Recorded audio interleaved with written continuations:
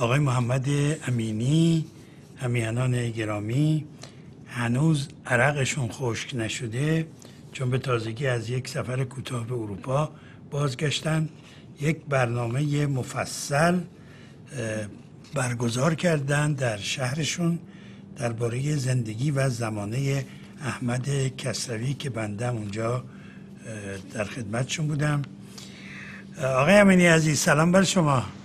درود بر شما کم لطفی میفرمایید شما گرداننده برنامه بودید و آقای بهرام مشیری هم از راه تلفن شرکت داشتن متاسفانه نتونستن حضور بیابن بله. برنامه بسیار آبرومندانه ای برگزار شد و بله. به شما تعداد همیهنان بسیار بود من کاری واقعا کار مهمی نکردم بله. آقای امینی عزیز بفرمین که به اروپا رفتیم به کجاها سر زدید موضوع سخنرانیاتون چی بود؟ این سفر اروپایی من یه جنبه خصوصی داشت و یه جنبه عمومی و اجازه بدید که جنبه های عمومی رو با شما در میان بگذارم. خصوصیش هم به کار پژوهشی من کارهای پژوهشی من مربوط می شود ولی دیدارهایی بود که باید انجام می‌دادم. ولی در این رهگذر در سفری نسبتا کوتاهی که داشتم بیشتر از 11 روز به درازا نکشید چند برنامه داشتم. در شهر کل دو برنامه اجرا کردم. یک برنامه به دعوت گروهی از دوستان در باره سرگذشت زبان فارسی و پاسخ به این موضوع که چرا و چگونه پس از دویست سال چیرگی اعراب مسلمان بر ایران و همچنین نزدیک به 900 سال فرمان روایی هایی که بیشتر ترکمان و اوغوز و مغول و تاتار و از این دست بودند زبان فارسی سر برافراشت و چیره شد و به زبان دیوانی، ادبی، اداری و سرانجام زبان ملی ایرانیان تبدیل شد. و نشست بسیار خوبی بود. نشست دیگری برای رونمایی کتاب و سخنرانی درباره زندیات احمد کسروی در کتاب فروشی فروغ در شهر کل داشتم که با اینکه به دلیل یک سفر از شهر دیگر با تاخیر زیاد به این جا رسیدم میهنان در انتظار نشسته بودن و برنامه بسیار خوبی برگزار شد و استقبال زیادی هم از کتاب شد. همچنین در شهر هانوفر به دعوت قانون حقوق بشر اون شهر در یک نشست ماهیانه اونها شرکت داشتم. شمار بسیاری از همیهنان جوان پناهجویان جوان در این برنامه شرکت داشتم و من بیشتر به موضوع تنگناهای دموکراسی و سکولاریزم در درازای 150 ساله گذشته ایران پرداختم و یکی دو بار هم در برنامه های کناری با دوستان در شهرهای آلمان و همچنین در پاریس گفتگوهایی داشتم و بازگشتم و به زودی هم باز به سفر هستم راهی سفر هستم. بازم باید گفت که علاقتون خوش نشده. باز هم راهی اروپا هستین. کجا باز خواهید رفت؟ چه خواهید گفت؟ سوژهاتون داره سخنرانی ها چیست؟ این بار یک بود و شاید هم از جهاتی برای خود من پر از هستگی ولی شاید هم بندگان پر از هستگی. و نخست به وین خواهم رفت و دو برنامه در وین خواهم داشت. های روز آدینه و شنبه 28 و 29 اکتبر در وین خواهم بود. روز نخست که عنوانش هست عنوان سخنرانی خواهد بود چالش شریعت و سکولاریزم در ساختار حقوقی غذایی ایران مدرن. و این برنامه و همچنین روز پس از اون هر دو در یک جا خواهد بود برنامه دوم که به نام کارگاه اندیشه برگزار خواهد شد همین بحث سرگذشت زبان فارسی رو از ساعت شش بعد از ظهر. برنامه نخست ساعت هفت بعد پس از نیم روز هست. این دومی در ساعت شش پس از نیم روز هست. در یک محلی است گویا که این دوستان همیشه برنامه در اونجا اجرا می‌کنن به نام بیندرگاس. بیندرگاس پنج تا نو یعنی شماره پنج تا نو در, در وین. و این مرکز در واقع انجمن فرهنگی ایرانیان مقیم اتریش این برنامه رو برگزار می‌کنه. از اونجا راهی مونیخ خواهم شد. به دعوت دوستان در خانه ایران در نشستی که دوستانی که به نام خانه ایران معروف هستند برگزار می‌کنند و باز در اونجا هم پیرامون زبان فارسی و راز ماندگاریان سخن خواهم گفت و این برنامه در محلی خواهد بود که خانه ایران مونیخ تنظیم کرده به نام بله در نشانیش هم اینجا دادن ولی من ببینم نشانی اینجا پیدا می‌کنم برای هم میهنان بگم. ولی بر روی هم میهنانی که در مونیخ و شهرهای پیرامون مونیخ هستن اگر به تارنما و فیسبوک خانه ایران مونیخ رجوع کنند این جزئیات برنامه و محل برنامه رو پیدا خواهند کرد. از اونجا راهی چند شهر دیگر خواهم شد و برنامه خواهم داشت. از جمله در برلین دو برنامه سخنرانی دارم در آدینه چهارم نوامبر و شنبه پنجم نوامبر.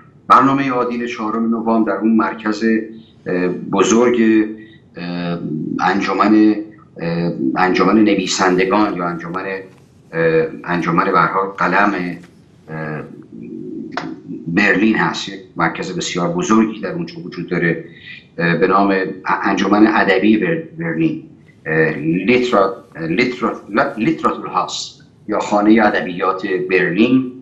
که معروف هست در برلین همه همیهنان می‌شناسن اینجا رو. در خیابان فاسانن اشتراسه فاسانن اشتراسه شماره 23 ساعت هفت و نیم پس از نیم روز درباره زندگی و زمانه احمد کسروی سخن خواهم گفت و کتاب تازم رونمایی خواهم کرد. روز پس از آن در همان یعنی در کاری این در این برنامه به دعوت انجمن ده خدا برگزار می شود انجمن فرهنگی خدا. و در روز شنبه در ساعت هفت پس از شیش و نیم پس از نیم روز در بیشتر ایرانیان با اون آشنا هستند در کانون ده خدا. در اونجا برنامه خواهم داشت. باز هم درباره همین موضوع سرگذشت زبان فارسی. سپس راهی هانوفر خواهم شد و در نشست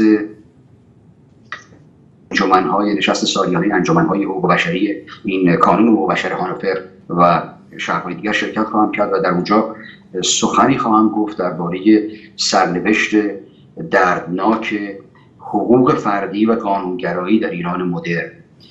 برنامه های دیگر در, در شهرهای بلند و یکی دو شهر دیگر آلمان و بلژیک هنوز محل اونها با آگاهی من نرسیده و در پیش از آغاز سفر حتما در برنامه هفته آینده یا شاید هم در درازای سفر با آگاهی همیهنان این رو برسانم. و روی این برنامه است که برای دو هفته آینده در اروپا خواهم داشت و این است که پس از برنامه هفته آینده که راهی سفر خواهم بود شاید یک چهار شنبه رو در خدمت شما و هم میهنان برای برنامه برگی از تاریخ نباشم و از پیش از شما هم میهنان پوزش می‌خواهم اگر در سفر باشم و نتوانم این برنامه رو از راه دور اجرا بکنم البته کوشش خواهیم کرد با همکاری تلویزیون اندیشه و کارگردانان بسیار توانا که از راه دور هم یک رابطی برقرار شود و ما بتوانیم برنامه زنده ای رو از یکی از شهرهای اروپا بسته به این است که در چهارشنبه دو هفته دیگر من در کجا باشم برنامه در خدمت شما باشم. آقای امینی پیشا پیش خسته نباشیم واقعا. واقعا خودتون خیلی خسته می‌کنین هر روز در یک جا سخنرانی خیلی کار دشواریه واقعا. بله ولی خب شما جوانید و بدنتون نیرومنده و ذهنتون وقاده حالا دیگه نمی‌دونم. نقاد یا وقاد؟ وقاد. نقاد هم هست البته. بله. آقای امینی با هم قرار گذاشتیم که این هفته یعنی امروز بله. و هفته آینده به همین موضوعی که در بسیاری از شهرها دربارش صحبت خواهید کرد یعنی موضوع سرگذشت زبان فارسی بپردازیم. بله. در سفر آینده هم به همین موضوع خواهید پرداخت. بنابراین ما هفته آینده هم در این باره وقت داریم صحبت بکنیم. اما پیش از آغاز برنامه بپردازیم به پرسشی درباره رویدادهای سیاسی که از شما داشتم. موافقید چند دقیقه با هم به این موضوع بپردازیم؟ مثلا درباره پیشرفت های نظامی در عراق و سوریه علیه داعش.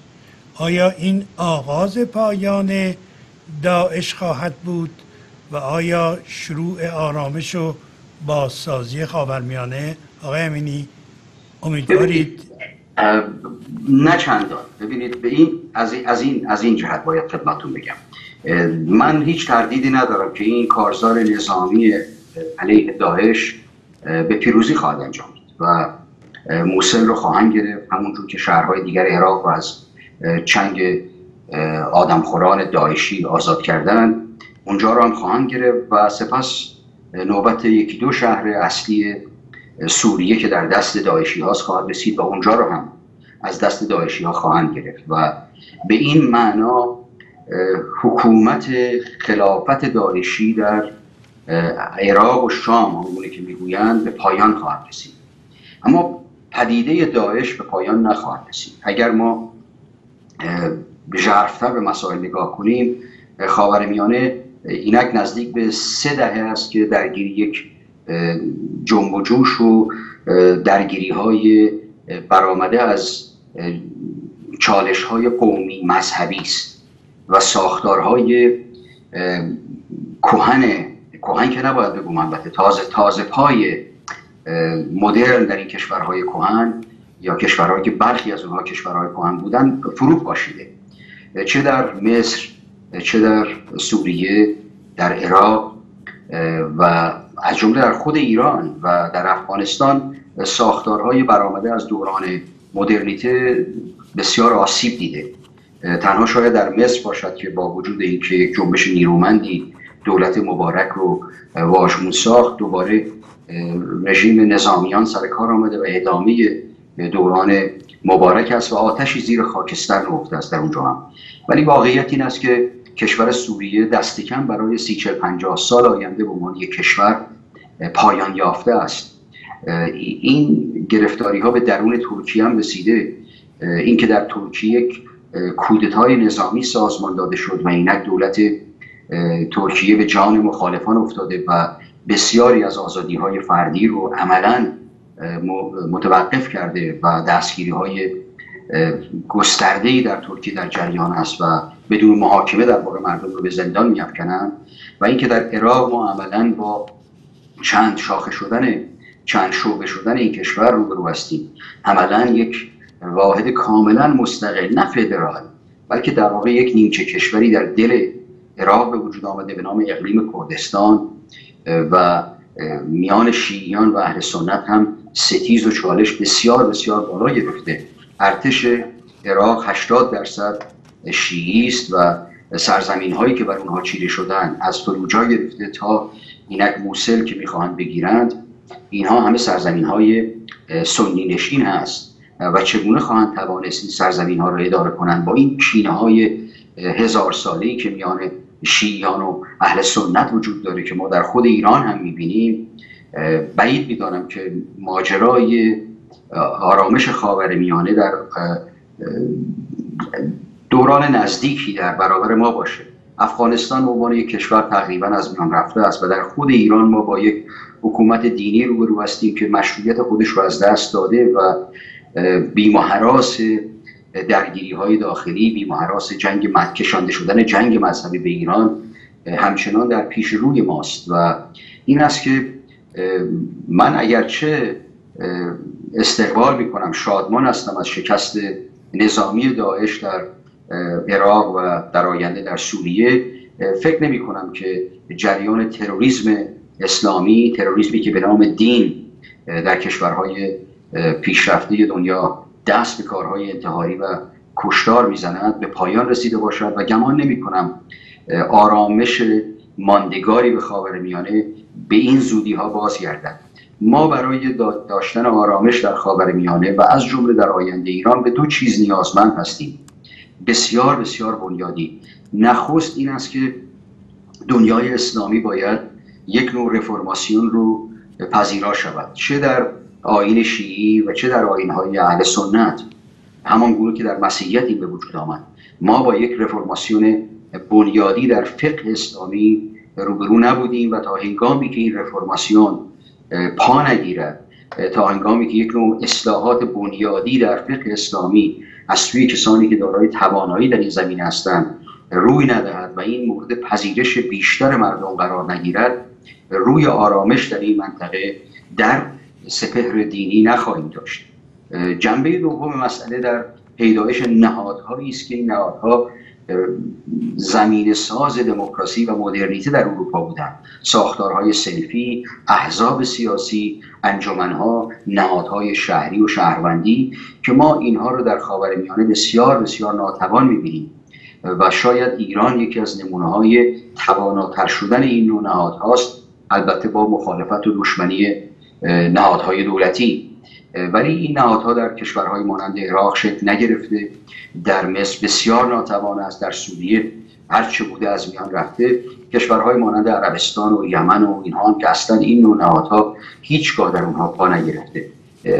دموکراسی ماندگار و آرامش و سازندگی خاورمیانه نیاز به یک جنبش نیرومند رفرماسیون دینی و یک کوشش همه جانبه برای پدیدار ساختن نهادهایی که دموکراسی می‌تواند بر پایه اونها یک زندگی ماندگار داشته باشد به اون بستگی داره و من هنوز گمان نمی کنم که زمینه و زمانه برای رسیدن به چنین آرزویی در خاورمیانه پدیدار شده باشه.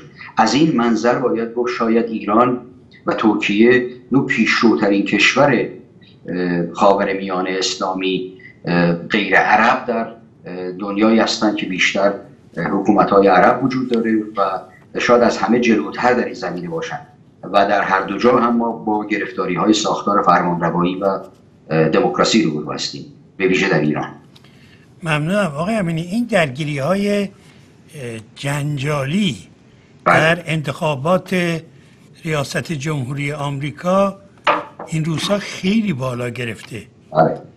سود و زیانی هم از, ای از این وقایع به ایران ایرانیان هم خواهد رسید.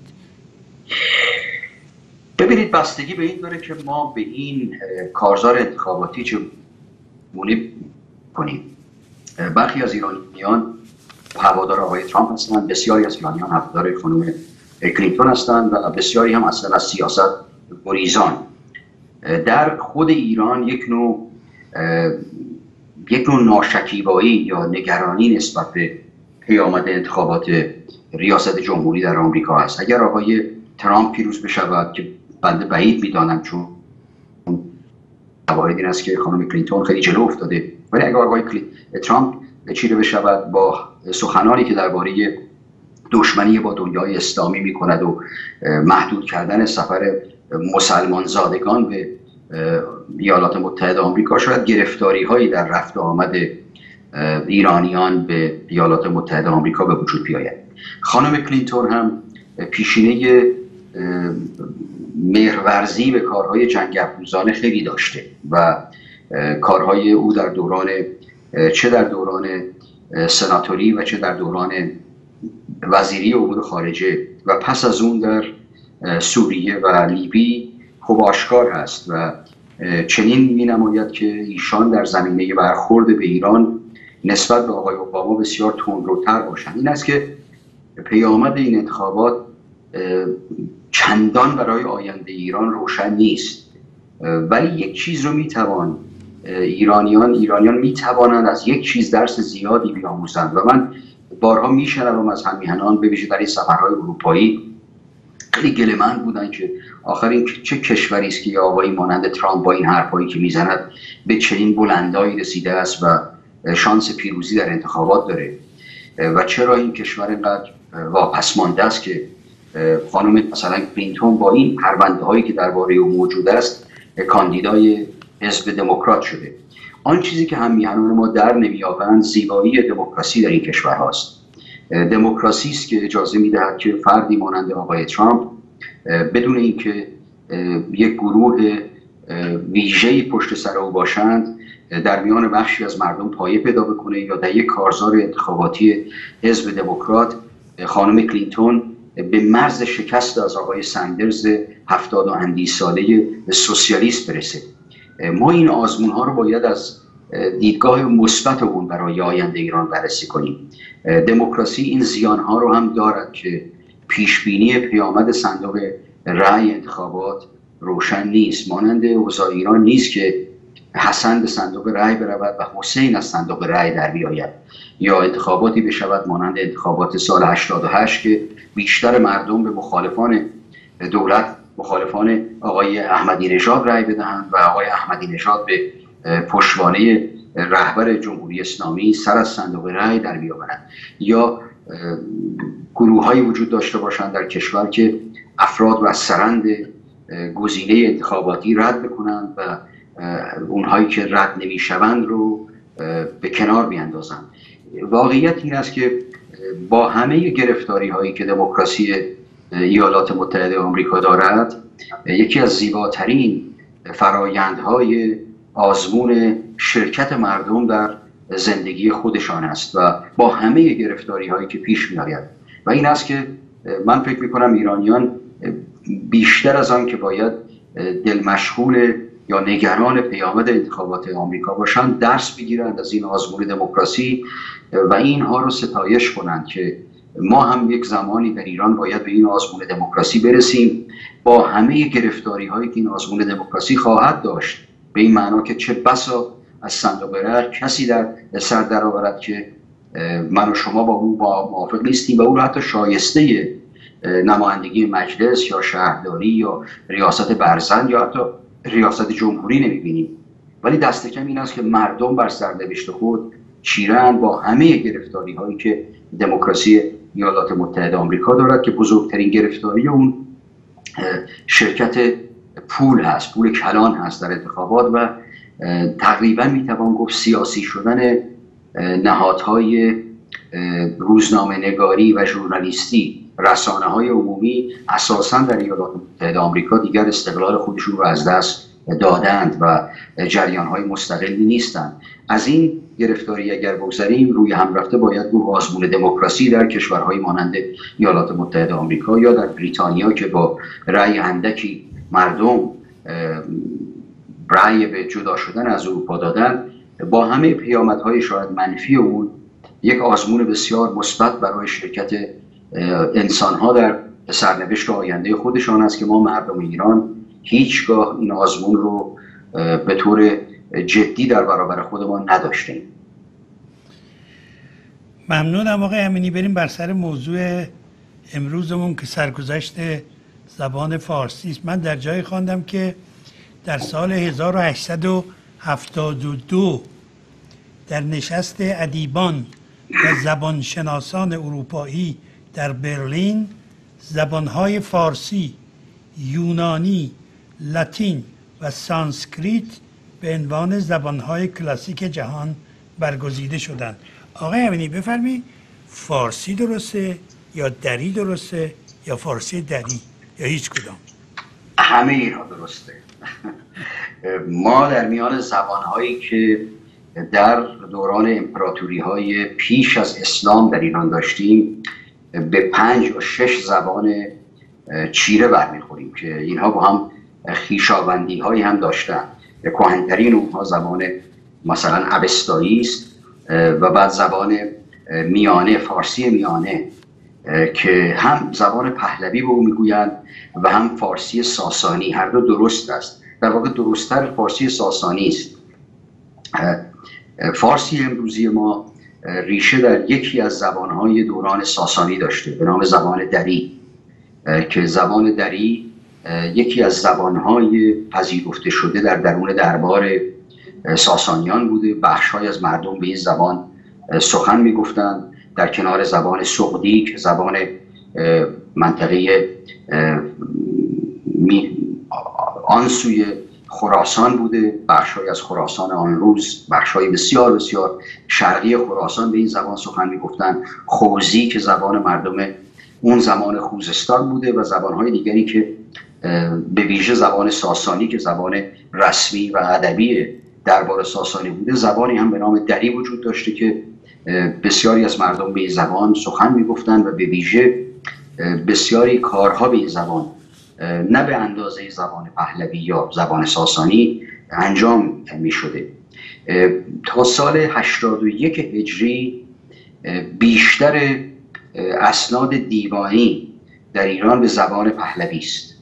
و از سال 81 هجری هست که یک کوشش سازمان یافته برای پایان دادن چیرگی زبان پهلوی در اسناد و متون اداری و مالیاتی ایران انجام می شود و از این را زبان پهلوی تقریبا می توان گفت که به انزوا به کناره می رود و زبان عربی چیره می شود این زبان در آغاز به عنوان زبان دری در خراسان بزرگ در بخش از خراسان و سیستان سر بلند می‌کنه.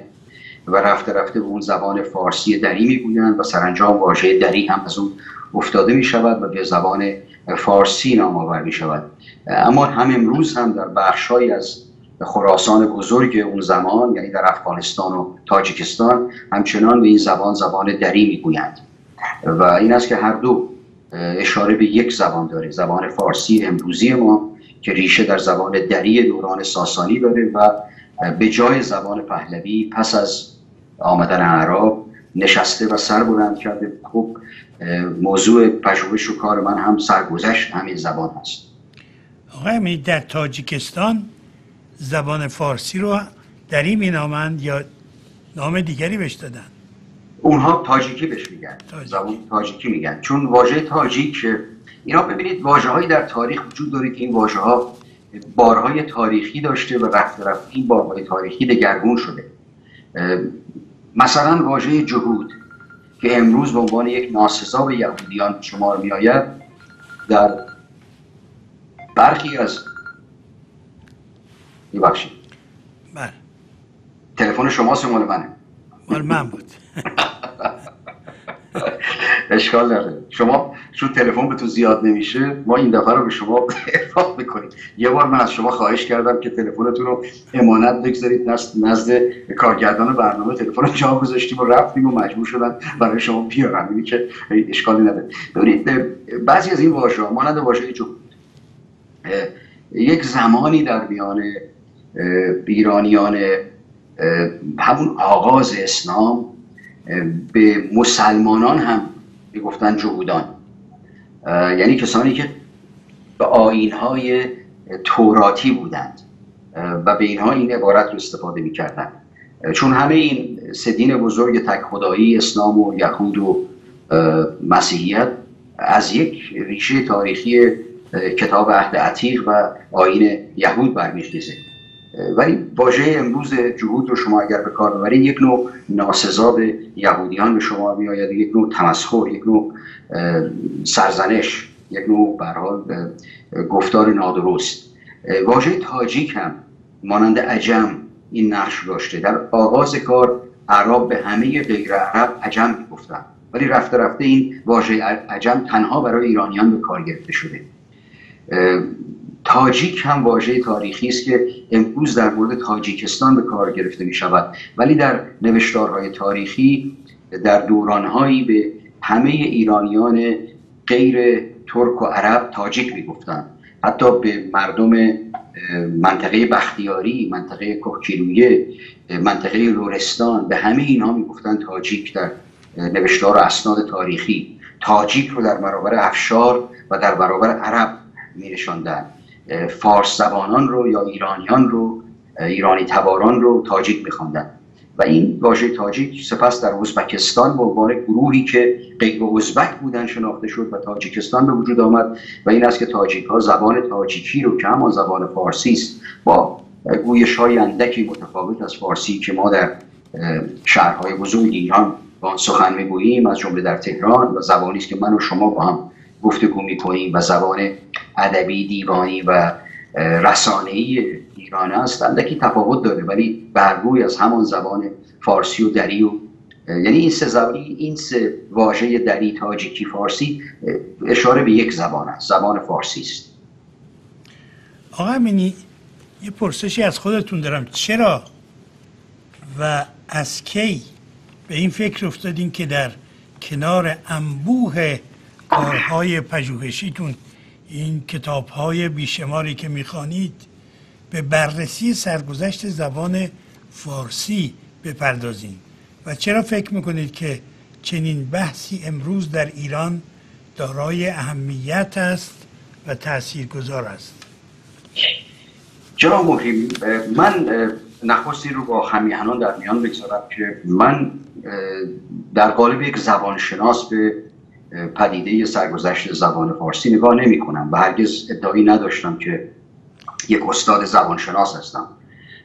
من علاقمند به زبان شناسی هستم ولی استاد زبانشناس و متخصص در امور زبانشناسی نیستم. ولی از خیلی نوجوانی شیفته آشنایی با زبانهای گوناگونی که در ایران وجود می داشته بودم و به ویژه به دلیل کسانی که در پیرامون خانه ما یا در میان کسانی که با ما کار می‌کردن یا همکار پدرم بودن بودم. از کسی که مثلا منشی پدرم بود و به زبان گیلکی گیلانی سخن میگو و بسیار هم زیبا بود زبانش. یا کسی که زبان مادری زبان ترکی آذربایجانی بود و از نزدیکان بر روی خانواده ما به شمار می آمد و هنوز هم هست یا کارکنی داشتیم در خانواده خانمون به نام مراد که این بلوچ بود. و گاه به همون زبان بلوچی در واقع سخن می‌گفت. از همون کودکی شیفته این نوع زبان ها بودم و تفاوت های این زبانی تا رفته رفته از سی سال پیش به پژوهش در مورد زبان ها در ایران پرداختم. به عنوان یک کار نخست سرگرمی و سرانجام حرفه‌ای. در از ده سالگی؟ نه خیلی بعد از در در دوران پس از پایان دبیرستان آمدن به خارج از کشور. نه در ده سالگی فقط علاقه من بودم. کار پژوهشی رو در ده سالگی آدم آغاز نمی‌کنه. اگه آغاز کنه حتما به بیراه خواهد رفت. دست کم در مورد آدم غیر نابغه مانند بنده نوابق متفاوتم. و رفته رفته بیشتر و بیشتر علاقه من شدم و گفتم نخست به عنوان یک کار سرگرم کننده بود. و اینک به یکی از رشته های کاری که به اون پرداختم تبدیل شده. و در این در این در واقع کشاکش پژوهشی و نگاه به زبان ها در ایران می توانم بگویم که دست کم بین 180 تا 200 زبان رو در ایران ردبندی کردم و امیدوارم که در این باره کاری به زودی منتشر بکنم. اینها گویش نیست اینها زبان هست بنگویش هست که به نادرست برخی از اینها به عنوان لحجه شناخته می شود مثلا بسیاری از ایرانیان میگن لحجه رشتی در حالی که زبان گیلانی زبان کهنتری از زبان فارسی است. و حتی از شاخه متفاوتی از زبان فارسی برمیآید. یا زبان تپوری یا مازندرانی تبرستانی زبان جداگانه از زبان فارسی است و اینها زبان هستند. احمد کسروی به اینها به عنوان برخی از اینها به عنوان نیم زبان اشاره می‌کنه ولی بسیاری از اینها در واقع زبان هستند. یا تاتی که زبان تاریخی مردم آذربایجان بوده و کسروی در کتاب بسیار بسیار ارزنده نخستین کار پژوهشی و آذری زبان باستان مردم آذربایجان رو پرداخته و نشان می‌دهد که این زبان پهلوی است و در نوشتارهای تاریخی بازمانده از دورانهای کهن هم به این زبان به عنوان آذری اشاره شده که مراد همان زبان آذری یا تاتیس که هنوز هم در میان برخی از مردم پیرامون اردبیل و تالش به این زبان سخن می‌گویند. فارسی اما برای من این پرسش رو در واقع برانگیخته بود. دست کم در این 15 20 سال گذشته. به ویژه پس از برافراشته شدن این پرچم های دروغین ملت سازی ها در ایران و قومگرایی ها در ایران و ناسزاهایی که علیه فارس زبانان گفته می‌شد که این ملتی به نام ملت فارس آمده و به یاری رضاشاه زبان خودش رو بر مردم ایران تحمیل کرده و زبان رسمی شدن رسمی شدن زبان فارسی رو به سینه رضاشاه سنجاب می‌کردن و جزء رفتار او برمیشمردند که دروغ تاریخی است در واقع. و برای من این پرسش به وجود آمد که می‌دانیم که نزدیک به 200 سال در ایران عرب چیرگی مطلق داشتن. البته شورش های زیادی هم در ایران روی داد. در برابر چیرگی عرب رفته رفته در واقع این چیرگی سوس شد و با پیدایش حکومت تاهریان در خراسان سرانجام صفاریان که به این تاهریان پایان دادن سامانیان و دولت هایی که در گوش و کنار ایران ایجاد شده بود حکومت عرب حکومت خلافت عرب در ایران سوس شد. پس از اون هم برای دوره کوتاهی حکومت های ایرانی فارسی زبان مانند صفاریان و سامانیان و اینجا و اونجا حکومت های مانند دولت آل بوگه یا دیلمیان در ایران و گوش و کنار شهر مناطق دیگر ایران زیاریان و غیره چیره شدن ولی روی هم رفته باید گفت که بیشتر تاریخ ایران تاریخ حکومت های ترکمان ترک تبار اغوز مغول تاتار و چیزهایی از این دست است. حتی نخستین دولت سراسری ایران پس از آمدن مغولان که دولت صفوی باشد که طولانی ترین دولت, دولت پس از مغول یا طولانی ترین دولت پس از اسلام در ایران است به ضرب شمشیر قزلباش نه طایفه قزلباش که از آناتولی از آسیای میانه آسیای ببخشید آسیای کوچک به ایران آمده بودند و زبان همه اونها ترکی بود چیره شد. و این است که پرسش این بود که پرسش برای من این بود که در این درازای تاریخ چگونه بوده است که اعراب آمدند و سپس حکومت غزنویان غزنویان اوگستوار سپس سلجوقیان که اونها هم شاخه دیگری از ترکان بودند ترکمان بودند و سرانجام هم مغولان و سپس تاتار و قبایل قزلباش چگونه در درازای تاریخ با اینکه زبان گروه ها و اقوام چیره بر فرمان روای ایران فارسی نبوده چرا زبان فارسی به زبان ادبی، فرهنگی، دیوانی، اداری و سرانجام در آستانه انقلاب مشروطه به زبان ملی ایرانیان تبدیل شده. و این کار رو من بیشتر از, از این منظر انجام دادم که پاسخی داده باشم به این دروغ پردازی های قومگرایانه که در ایران روان شده که گویا قومی وجود داشته ملتی وجود داشته به نام ملت فارس که آمده و با ضرب زور و شمشیر مثلا با کمک حافظ و سعدی و فردوسی و رودکی زبان خودش رو بر پادشاهان خونریز ترکمان و مغول و تاتار و غز و غیره تحمیل کرده که دروغ تاریخی بیش نیست. این است که برانگیخته شدم بیشتر به این بپردازم و یک نظریه در واقع در این زمینه دارم و به یک در واقع تئوری رسیدم که شاید در برنامه امروز و هفته آینده با همیهنان در میان بگذارم و این بخشی از کتابی است که در آستانه انتشار است به نام افسانه ستم ملی در درازای تاریخ و سرگذشت زبان فارسی آقای امینی این که اشاره کردین در جایی به دیوانی شدن زبان فارسی من در یه جایی شدم در یکی از نوشته خودتون.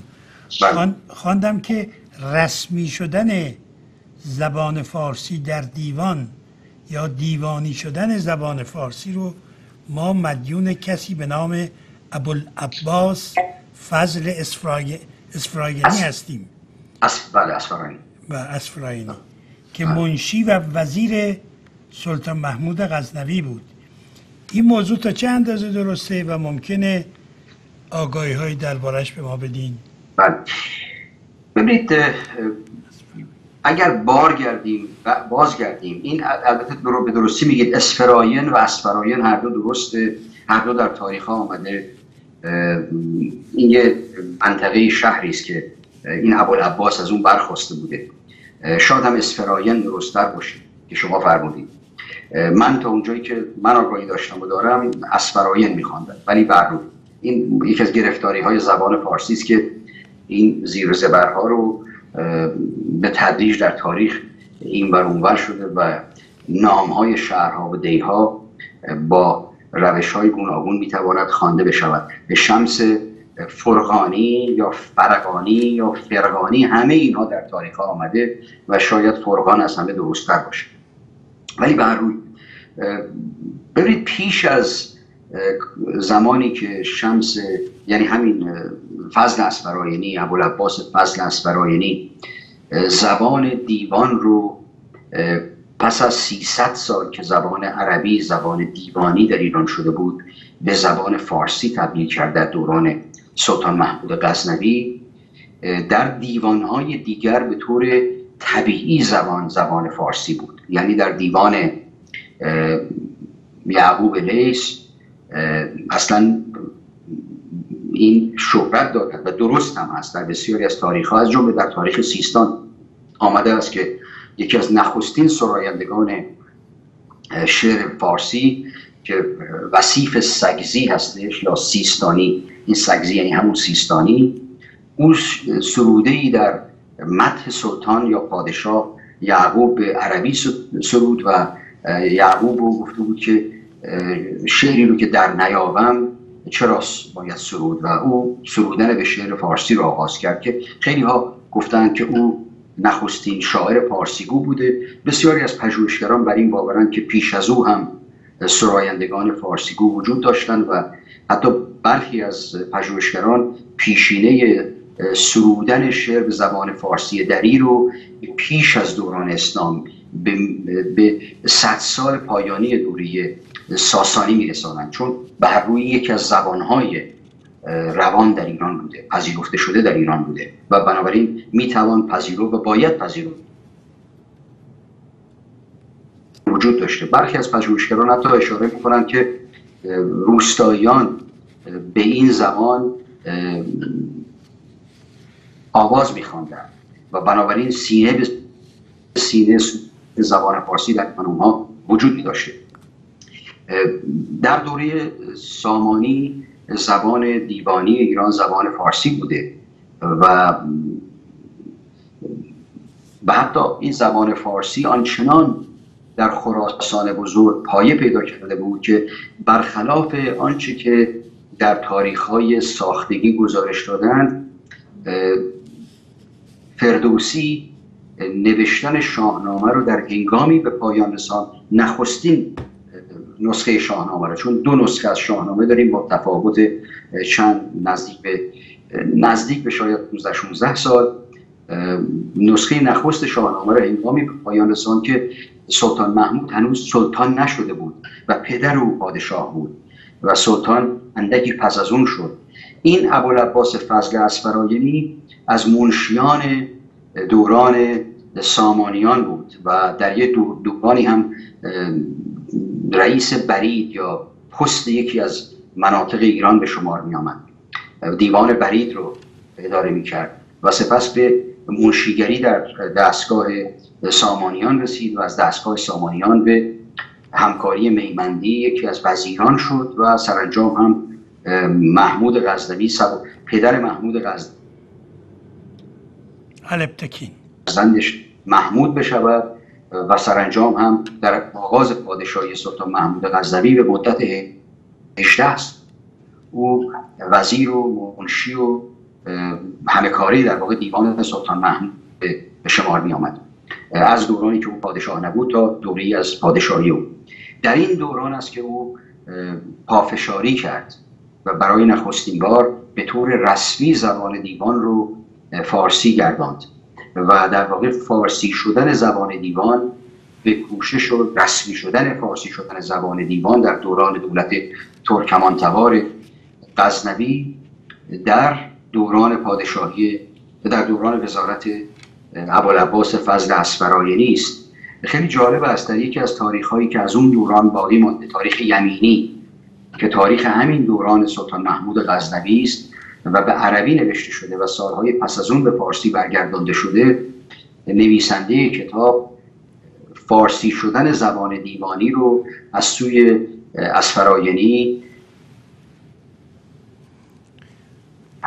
می‌گوید که چون اون روستایی زاده بود و فضل زیادی نداشت با زبان عربی که زبان برحال به گفته این نویسنده تاریخ یمینی یمینی هم به این دلیل نام تاریخ یمینی گذاشته یکی از القاب سلطان محمود همین یمین بود. آقای یمینی بله؟ دو دقیقه وقت داریم ببخش بله. و به همین دلیل هم نام کتاب رو تاریخ یمینی نهاد. و او می‌گوید که ابوالعباس فضل اسفراینی آشنا نبوده با زبان فارسی. در زیادی در دست است که او با کارهای فردوسی آشنا بوده و حتی تشویق می‌کنه فردوسی رو که شاهنامه خودش رو بیاورد و به سلطان محمود ارائه کند. بنابراین شاهنامه نوشته شده بوده. من اجازه بده یک نمونه از این ماجرا رو از تاریخ سیستان برای شما بگویم که تا چه اندازه ایرانیان نسبت به این شاهنامه و داستانهای شاهنامه در اون دوران تعصب داشتن و این زبان فارسی در اون هنگام در بخش زیادی از ایران چیره شده بوده و کار اسفراینی تنها رسمی کردن کار دیوان بوده. این رو معلف تاریخ نویسنده تاریخ سیستان می‌گوید. البته درست نیست ولی زیباست برای آشنایی همیهنان. ابوالقاسم فردوسی شاهنامه به شعر کرد و برنامه سلطان محمود کرد و چندین روز همی برخواند محمود گفت همه شاهنامه خود هیچ نیست مگر حدیث رستم و در سپاه من هزار مرد چون رستم است. ابوالقاسم گفت زندگانی خداوند دراز باد. ندارم ندانم من در سپاه او چند مرد چون رستم باشد. اما این دانم که خدای تعالی خیشتن را هیچ بنده چون رستم دیگر نیافرید.